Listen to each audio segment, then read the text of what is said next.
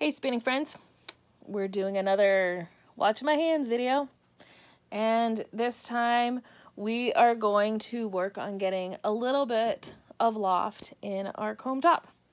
So we can see this is comb top, everything's straight and aligned, but we want to get a little bit more loft into it. We don't necessarily need all the loft that we would get from a roving, but we don't want it to be quite as dense as it would be if we just spun straight from the tip. So we're not spinning from the tip and we're not doing any special draws here. We are just going to do short draw. So I'm just going to take a bit of it right here and I'm going to fold this. So I can fold this over my finger like this and gently hold it in my hand here with my three other fingers and my thumb while my index finger is right in the middle of the fold. And that's called spinning from the fold. And I can kind of tease a little bit off of the tip of my finger and get it caught up in there because I've already been spinning a little and then spin from that.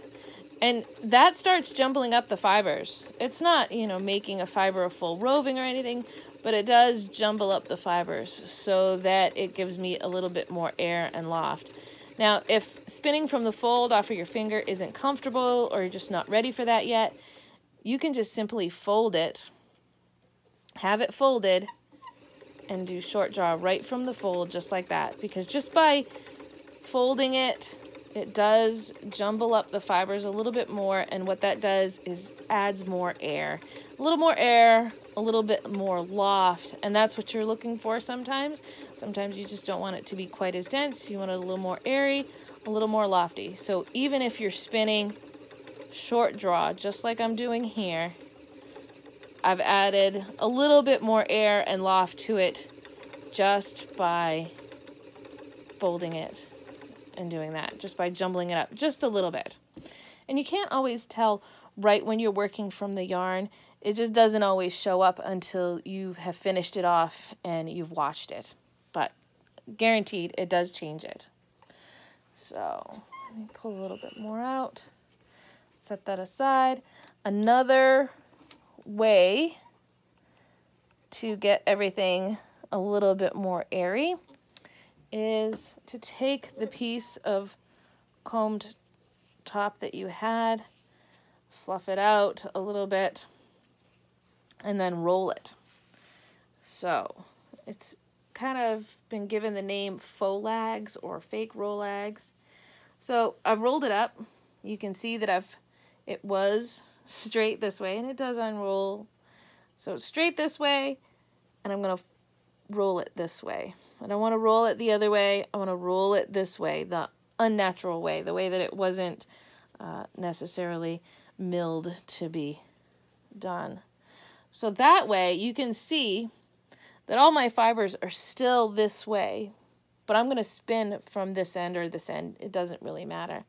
But I'm going to tease out a little bit, and you can see that it has instantly kind of fluffed up that fiber and kind of made it a little bit more jumbled. And that's exactly what we were going for. We don't want to spin straight from the end. We want it to be a little bit fluffier, a little bit loftier, and that's where we're at. So let's see.